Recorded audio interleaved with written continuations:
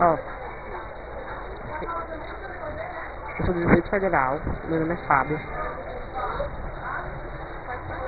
Eu sou um atleta e achei a competição muito legal.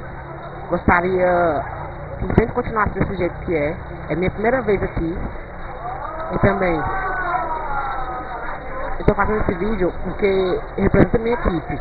Eu jogo voleibol e também quero um, um bom futuro para mim. E eu acho da competição, e espero também da competição, uma coisa muito legal. Porque tem todos os estados do Brasil. E tomara que minha equipe faça um bom campeonato. E também gostaria que, além da minha equipe fazer o campeonato, to todos se divertissem, jogassem limpo e dessem o melhor de si.